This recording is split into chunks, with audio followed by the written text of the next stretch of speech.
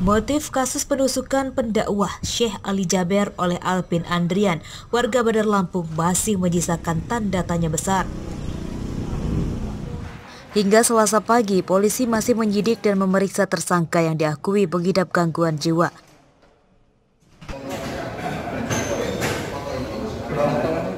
Meski begitu, polisi telah melakukan penahanan terhadap tersangka dengan dipersangkakan pasal berlapis hingga percobaan pembunuhan.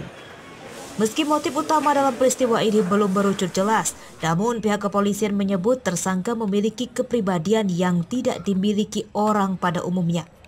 Pasalnya, tersangka saat diminta keterangan oleh penyidik sering kali terdiam. Bahkan polisi menilai ada sesuatu yang disembunyikan oleh tersangka. karena motif daripada pelaku yang mengatakan bahwa melakukan tindakannya adalah berdasarkan keyakinan dirinya sendiri karena dia merasa uh, ter terancam atau merasa terhantui dan sebagainya. Nah, hal-hal yang uh, pemikiran afektif dan kognitifnya ini yang kami akan mendalami dan itu membutuhkan saksi ahli. Penyidikan tindak pidana yang kami lakukan ini berdasarkan tindak pidana uh, uh, sistem uh, yang berdasarkan ilmiah.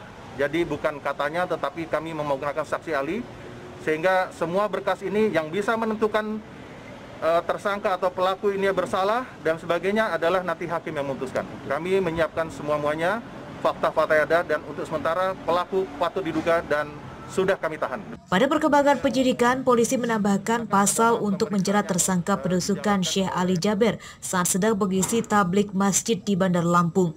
Selain pasal 351 ayat 2 tentang penganiayaan berat, polisi juga menjerat tersangka dengan pasal 340 KUHP, junto pasal 53 KUHP tentang pembunuhan berencana dan Undang-Undang Darurat Nomor 12 Tahun 1951 tentang kepemilikan senjata tajam.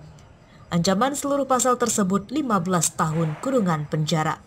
Robi Laste melaporkan dari Bandar Lampung.